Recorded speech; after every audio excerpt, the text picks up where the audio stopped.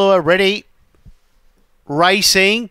Ultimate away fast out wide, trying to carve on over. Warella Joy had speed behind them. The next one, Harvard Lad. Tayson Palms now rushing forward, and Lashed Out was one of the last ones. It's Ultimate in front. Three clear of Tayson Palms, and Ultimate wins the second. Wins well by four to Harvard Lad. Tayson Palms third. Then came further back in the run, would have been uh, Warella Joy, and Lashed Out, the last one to greet the judge. Time around 17 even. Favourite home well, ultimate really finished off strongly to score by a good margin in the end. Interim placings will be 8, 6, 2 and 4. Interim numbers 8, 6, 2 and 4.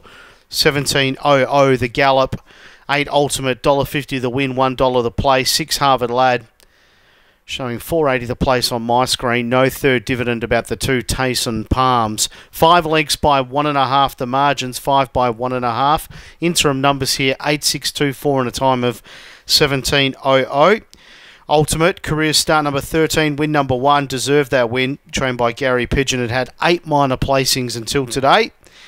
And then bolts in here at career start number 13. Stand by for the all clear race two.